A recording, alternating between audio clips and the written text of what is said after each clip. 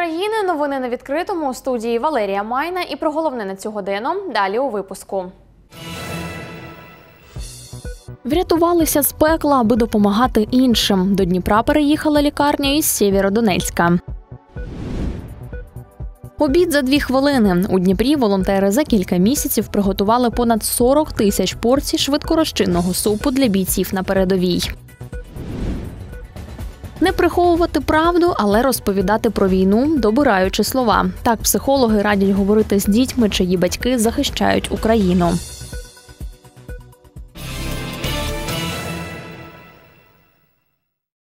Про це та інше більш детально. Ситуація на Синельниківщині під контролем ЗСУ, хоч регіон межує з областями, які під постійним ворожим вогнем обстрілюють і їхню територію, розповіла голова Синельниківської районної військової адміністрації Світлана Назарчук. Загалом за час повномасштабної війни окупанти випустили по Синельниківському району 80 реактивних снарядів та ракет. Найчастіше агресор гатив з РСЗВ. Але попри це у громадах працюють підприємства, аптеки та магазини. Гаряча пора й у місцевих аграріїв фермери міцно тримають свій фронт, бо розуміють, мають подбати про продовольчу безпеку країни та області. Наразі скосили 70% площ озимих і зібрали понад 530 тисяч тонн зернових. Паралельно жнивують на полях з ріпаком, вівсом та ячменем. Водночас, через обстріли окупантів, аграрії Синельниківського району не змогли засіяти понад 2,5 тисячі гектарів сільгоспугідь, а на 300 гектарах не зберуть врожай, бо вони всіяні снарядами й уламками російських боєприпасів. Зазначимо, попри те, що косовиця ще триває, сільгоспвиробники вже почали розраховуватись з пайовиками та допомагати району готуватися до зими.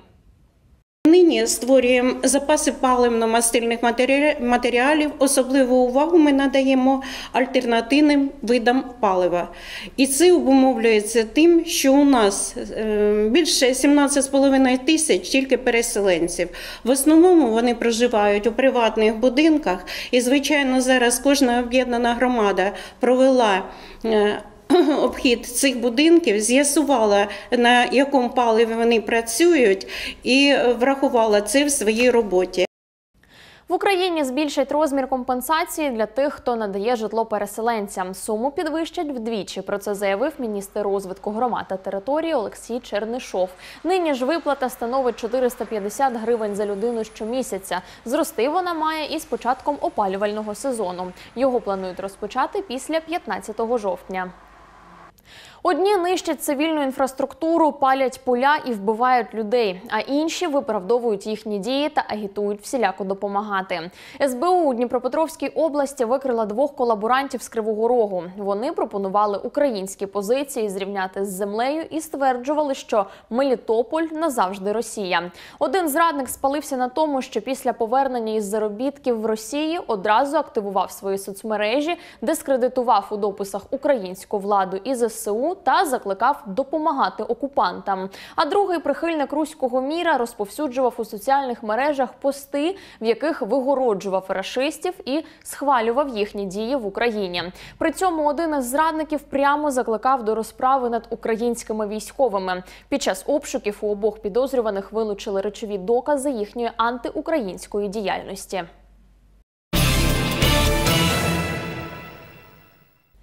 Чашка гарячого супу на передовій у Дніпрі. Волонтери вже кілька місяців готують крем-супи швидкого приготування. За тиждень пакують по кілька тисяч порцій. Далі відправляють нашим військовим. Найголовніше кажуть бойові бджілки, щоб було просто у приготуванні та смачно. А по відгуках хлопців і дівчат із фронту так воно і є. Міні-виробництво перетворилося на цех. У ньому побували наші журналісти. Вони розкажуть, з чого суп та як його готують. Всього дві хвилини і смачний обід готовий. Але щоб зробити ось цей пакетик, потрібно трішки поклопотати. Над бобовою чашкою, а так назвали швидкорозчинний суп-пюре волонтери, трудяться зо три десятки людей. За тиждень штампують 4-5 тисяч порцій. Це в нас бобова суміш, яку ми перемолюємо на цієї шайтан-машині на вже майже готовий продукт. Це в нас от квасоля більш світленька, більш жовтенький горох. Ідея готувати такий суп прийшла тоді, коли з продажу зникла їжа швидкого приготування. І з початку квітня приготування бобової чашки не вщухає ні на мить. За цей час зробили вже понад 40 тисяч порцій. Процес такий: зварити інгредієнти на майбутній суп, висушити в гідраторі. До речі, обладнання вдалося купити завдяки донатам. Далі подрібнення та додавання спецій. Прянощами займається Тетяна. Вона робить спрощену версію шареної солі, міксує сіль та пахощі. Це орегано, це е, сушений часник, це гострий перець. Пропорція кількості бобового борошна в чистому віді це все ми важили, вивіряли. Ну зараз вже на автоматі це робиться. Та самої ароматної солі зі спеціями. Потім все рівномірно перемішати та на пакування. Зараз у дніпровських бджілок є 2,5 тонни гороху. І як вони кажуть, 2 тонни столовими ложками розфасують за кілька місяців, тому шукають ще й постачальників круп для співпраці. Поки є попит, ми будемо працювати. Якщо є бажаючі до нас доєднатися, залюбки всіх приймемо. Було б круто, якби це були люди з е, власними сушарками. Сировину ми надаємо. Хтось хоче вже женитися на наших волонтерах, хтось каже, ну взагалі круто, смачно, поживно. Е, І це дуже зручно. Долучитися можна як руками, так і грошима. Кошти потрібні постійно на закупівлю пакувальних матеріалів та інгредієнтів. Про витрати волонтери регулярно звітують у себе на сторінках у соцмережах. Лада Донець, Анастасія Вільхова, Віталій Правдюк, Open News, телеканал відкритий. Повідомити про вибухівку чи знайдений боєприпас тепер можна всього у декілька кліків. Держслужба з надзвичайних ситуацій презентувала новий мобільний застосунок MindFree. В перекладі без змін. Сервіс розробили волонтери благодійної швейцарської організації Вільна Україна за підтримки ДСНС України. З початку війни рятувальники вилучили більш ніж 170 тисяч вибухонебезпечних предметів по всій Україні. Однак ще понад 30% території країни забруднені рашистськими снарядами. Завдяки додатку кожен може переглянути мапу з потенційно небезпечними територіями, отримати сповіщення у випадку наближення до загрози, а також повідомити про підозрілі знахідки. Уся інформація відразу надходить до рятувальників, а ті вже оперативно реагують і знешкоджують вибухонебезпечні боєприпаси. Сказати правду чи змовчати перед таким питанням постають батьки, коли один з них йде на фронт і треба поговорити з дитиною.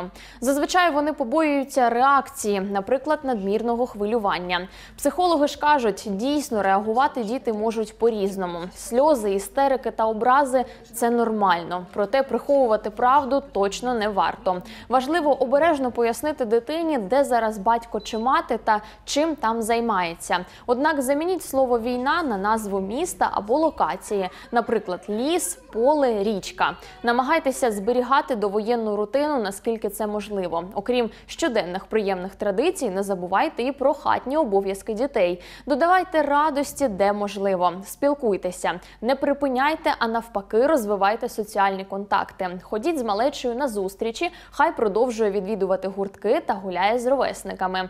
Якщо є можливість телефонного зв'язку, то необхідно, щоб тато або мама завжди впевнено казали, що в них усе гаразд, і їх відсутність тимчасова.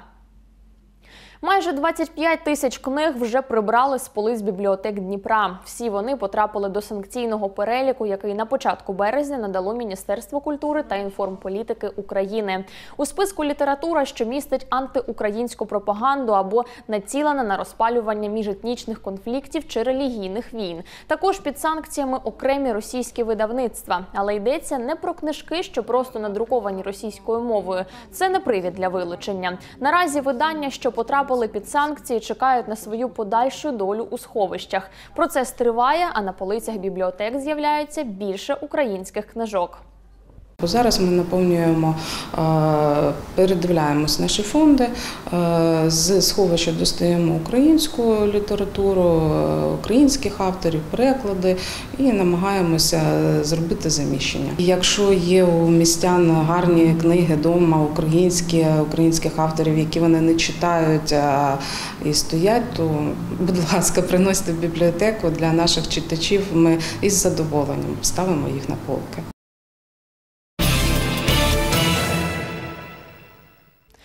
Врятувалися з пекла, аби допомагати іншим. До Дніпра евакуювалася лікарня із Сєвєродонецька. Тут медики-переселенці знайшли нове приміщення та обладнання і потроху відновлюють роботу.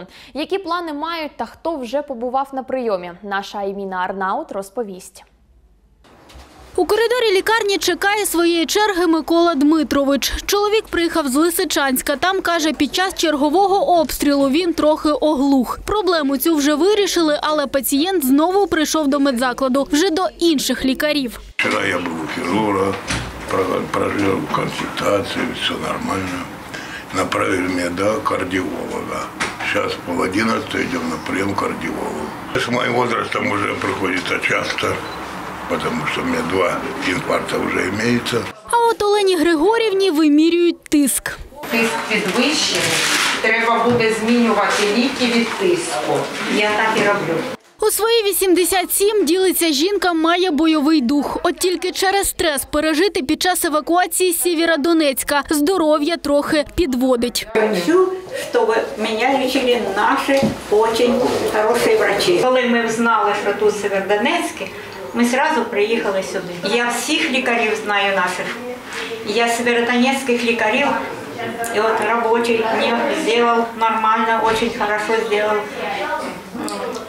Поэтому всіх лікарів знаю. До Дніпра заради роботи у цій лікарні переїхала кардіологиня Ольга. Вона каже, для пацієнтів-переселенців у цьому дійсно є плюси. Сьогодні був пацієнт, уже третій раз приходив, якого я знаю з 16-го року, якому ми робили в Северодонецьку коронарографію, знаю його проблему. От він прийшов, і лікарю е, він е, звертався в Дніпрі, але в нього не, нема ніякої меддокументації, йому треба все відновлювати. А я ну де, дещо пам'ятаю, дещо я можу зателефонувати колегам, там е, порадитись. Та зараз, окрім лікарні, працює ще й лабораторія. Тут медики вже проводять до 30 аналізів на день. на новому обладнанні гематологічному, коагулометр є, біохімічний аналізатор, який виконує всі біохімічні показники. Далі розповідають у керівництві, у лікарні планують відновити ще й реабілітацію та гемодіалізну допомогу. Та поки ж тішиться тим, чого вже досягли. Завдяки співпраці обласної адміністрації Дніпра та обласної адміністрації е, Луганської, тобто Северодонецької, е, налагоджена були взаємодія. Нам допомогли знайти приміщення. Ми е, почали е, відновлювати свою працю. Медичні заклади не є виключенням для того, щоб переїжджати в більш спокійні території. Є можливість медичним працівникам спільно з родинами переїхати, бути спокійнішими, але ж продовжувати працювати. Бо е, умови контрактування з Національною службою охорони здоров'я дозволяють е, отримувати і заробітну платню, і отримувати всі необхідні кошти. Сєвєродонецька лікарня, яка тепер працює у Дніпрі, приймає не лише переселенців, а й місцевих. Загалом на Дніпропетровщину вже переїхали 11 закладів охорони здоров'я. Вони, зокрема, з Харківщини та Луганщини. Аймінарна от Віталій Правдюк, Open News, телеканал відкритий. Здорові діти здорова нація. А щоб малюки росли міцними, потрібні вітаміни. Найбільше їх у грудному молоці кажуть лікарі. Від грудного вигодовування дитина отримує користь, яку нічим не можна замінити. І протягом першого півроку життя саме материнське молоко забезпечує потребу малюка у поживних речовинах. Наші жінки, навіть попри стреси та виснаження на фоні війни, ростять здорове покоління. Чому обирають грудне вигодовування? Далі в сюжеті. Стрес і переживання головні вороги лактації. Це відчула на собі Людмила з Донеччини. Місяць тому вона стала матусею вдруге. Однак молока спочатку було вкрай мало. Поначалу я всю мах рожала, как бы молока не было особо, не, не прибывало. Мы на смесях там нам давали смеси, Но потом мы от смеси как бы отказываемся, сисю ищем, пытаемся кормить грудью. Ну и вообще как бы за грудное скармливание. Я первого до двух лет кормила. Как бы здесь стараемся кормить грудью, потому что молоко, мама, она есть молоко, да? Коли молока недостатньо, головне для жінки, кажуть педіатри, заспокоїтись і не поспішати давати суміш чи воду. Варто щогодини прикладати немовля до грудей і згодом запрацюють рефлекси. До шести місяців мама повинна вигодовувати свою дитину тільки виключно грудним молоком, без додавання суміші, без додавання е, допоміжної рідини. Повинен бути сон, е, ну хоча б до 8 годин. Достатньо е, вживати рідину, е, повноцінна їжа. Е, Мама повинна хорошо харчуватися. Але саме основне це е, настрій мами і впевненість в тому, що вона буде годувати дитину груддю. Більшість матусь Дніпропетровщини обирають грудне вигодовування, а майже половина зберігає його до шестимісячного віку дитини. Вже тиждень ось цьому богатирю. Вага 4300, ділиться новоспечена матуся Олена. Я дуже хотіла грудним, грудним молоком дитину е, годувати, тому що е, дуже багато плюсів в цьому є. Тобто це те, що е, молоко вже з вітамінами, з мікроелементами, які е, природа надала, які йому необхідні. Це те, що ми, наша родина буде витрачати кошти на суміші, адже це також важливо. І, звісно, це те, що менш часу я буду витрачати на те, щоб змішувати суміш і більше приділяти дитині увагу. А для недоношених дітей материнське молоко, кажуть лікарі, не просто їжа, а й ліки. А ще грудне вигодовування це й користь для жінки. Воно зменшує ризик раку молочної залози та яєчників, діабету і післяпологової депресії. Лада Донець, Євген Гаценко, Open News, телеканал відкритий. Здоров'я важливе, ба більше, коли йдеться про дітей. У Дніпрі, попри війну, школярі проходять медогляд. Процедура порівняно з попередніми роками не змінилася. Усі послуги медики надають за програмою медичних гарантій і всі безкоштовні. Лікарі кажуть, першачкам треба пройти стоматолога, дитячого хірурга, ортопеда та офтальмолога. А ще здати аналіз на гемоглобін і після завітати до сімейного лікаря. Той має надати довідку про медогляд за встановленою формою. А учні других, третіх, четвертих та п'ятих класів проходять лише сімейного лікаря. В 11 років знову ми проходимо огляд у дитячого офтальмолога, стоматолога, хірурга, ортопеда та здаємо аналіз на гемоглобін. У віці 12-13 років лише сімейний лікар, в 14-15 це стоматолог, з 15 років флюорографія та дитячий хірург. Е, В деяких випадках також лікар може направити до дитячого ендокринолога. У віці вже 16-17 років це лише стоматолог та флюорографія, але всі інші е, огляди вузькими спеціалістами за показами, і це вирішує сімейний лікар. Батьки кажуть, медогляд важливий не лише для дитини, а й для дорослих, аби батьки переконалися, що з дитиною все гаразд. Записываемся на прием к врачу по электронной очереди, приходим на свое время с ребенком, сдаем анализ крови, рост, вес, антропометрию проходим, да. И Если есть жалобы, говорим, нас посылают к другому доктору. Тоже записываемся к узкому специалисту, чтобы вначале увидеть э, патологию ребенка, то мы придем к узкому специалисту, к офтальмологу.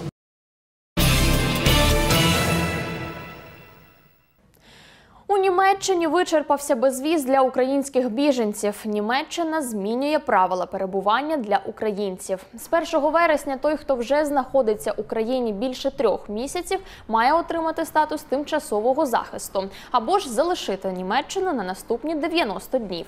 Українці, які прибудуть після 1 вересня, зможуть легально перебувати в Україні за безвізом протягом 90 днів. Однак, попри такі обмеження, Німеччина продовжує надавати Україні фінансову та військову допомогу. Підтримують Україну і на інших фронтах. Німецький модельєр та стиліст Френк Вільде з першого дня війни нагадує світу про жорстоку російську агресію на території України, але підтримує країну широкополих ланів Дніпра і Круч у притаманному для нього стилі. Щодня дизайнер з Берліну публікує у своєму інстаграм такі собі ліфтолуки в одязі кольорів українського прапора. Екстравагантні наряди у синіх та жовтих кольорах доповнює аксесуарами та соняхами. Так він висловлює солідарність з українцями і не дає світові забути про жахи війни. Країни Євросоюзу одна за одною зупиняють видачу туристичних віз росіянам. Зробила це і Латвія. Посольство України в РФ повідомило, що припинило видавати візи громадянам Ерефії на невизначений термін. Документи видаватимуть лише тим людям, які їхатимуть на похорон близького родича. Нагадаємо, з березня Латвія видавала візи лише за гуманітарними обставинами: хвороба або смерть близьких, а також журналістам і рідним громадян Латвії. На кінець липня із зазначених причин видано 654 в'їзні документи. Крім того, право візи отримали 247 співробітників російських змі та 206 членів їхніх сімей. А 3 серпня стало відомо, що влада Латвії планує запровадити додаткові перевірки для всіх громадян Росії та Білорусі при перетині кордону. Зупиняє видачу туристичних віз росіянам й Болгарія. Про це повідомила консульська служба країни. Причиною цього рішення називають оголошення персонами нон-грата 14 співробітників дипломатичного представництва та консульських установ Болгарії в Росії. Туроператори країни-агресорки повідомили, що консульство Болгарії в Москві сповістило їх про тимчасове призупинення прийому документів на отримання віз. Це стосуватиметься туристичних подорожей та власників нерухомості. Рішення позиціонується як тимчасове, але як довго триватиме ця пауза, наразі невідомо. Нагадаємо, раніше на тлі висилки 70 російських дипломатів із Софії Ерефія припинила видачу туристичних віз громадянам Болгарії.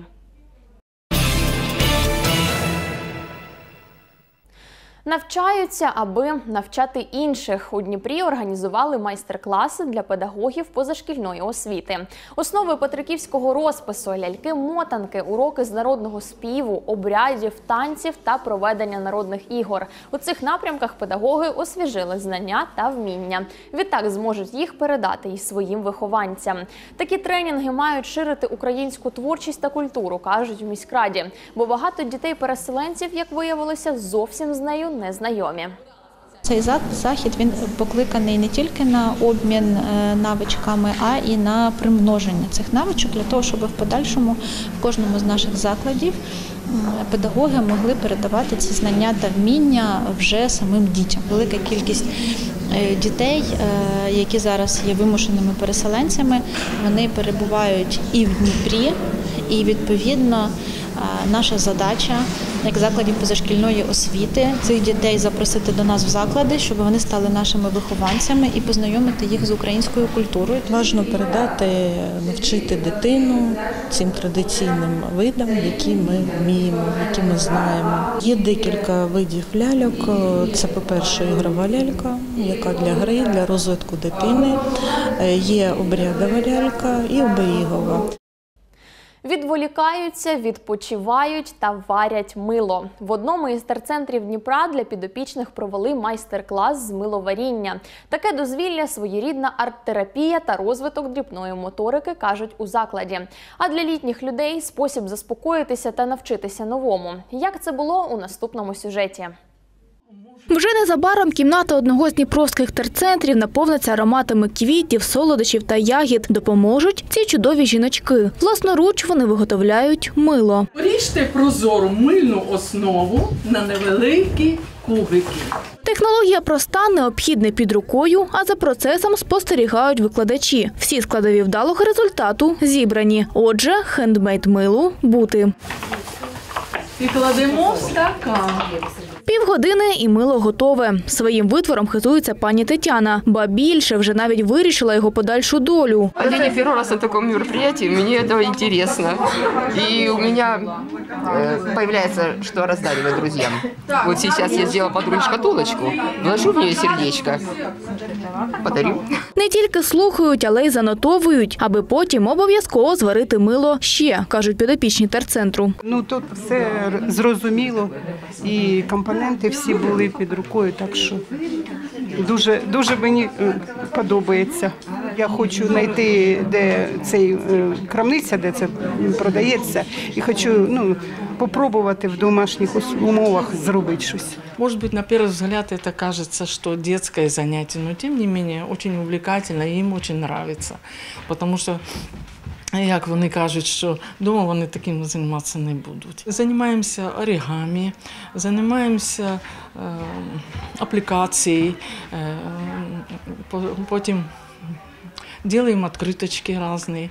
Учениці кажуть, такі майстер-класи не в новинку. У терцентрі підопічних і навчають, і розважають, і лікують. Слава Богу, что существуют такие организации, как Терцентр, и они нас э, чему-то учат. Вот в данном случае это производство мыла. Никогда не знала, что можно изготовить самой. Теперь я вижу, что это и очень, оказывается, и просто сделать. Сюда приходишь, и физкультура. Сюда приходишь, здесь массаж. Ну, все, все для нас, стариков. Терцентр розрахований на літніх людей, які частково втратили рухову активність, не здатні до самообслуговування або ж потребують психологічної адаптації. Для підопічних гімнастика, сеанси масажу, психології, ароматерапії та творчості. Мы развиваем память да моторику движения. Кожного дня есть определенные методики, либо арт-направление, либо моторика, либо развитие памяти, либо психолог, физиопроцедуры, лечебно-профилактичные процедуры, массажу. Загалом протягом року терцентр приймає та обслуговує до трьох сотень підопічних. Дар'я Пшнична, Олексій Кікать, Open News, телеканал відкритий. Час загадувати бажання. За кілька днів в Україні можна буде спостерігати унікальне природне явище найінтенсивніший зорепад Персеїди. Раз на рік, наприкінці літа, земля проходить сузір'я Персея крізь хвіст комети Свіфтутля. Її уламки згорають у земній атмосфері, і це схоже на справжній зорепад. Пік найяскравішого метеорного потоку Персеїди в ніч з 12 на 13 серпня. Аби побачити дива, не потрібне спеціальне обладнання. Та краще наголошують астрономи їхати за межі міста, де більше простору і краще видно небо, і можна помріяти. Адже за повір'ям, бажання загадане під час падіння зірки обов'язково здійсниться. При цьому краще сидіти обличчям на схід. Тож сміливіше прагніть, бо найголовніше бажання українців незабаром має здійснитися. На цьому в мене все більше новин на нашому сайті та в соцмережах. Сюжети на Ютуб. Наближаємо перемогу разом. Ми мужня країна, Україна.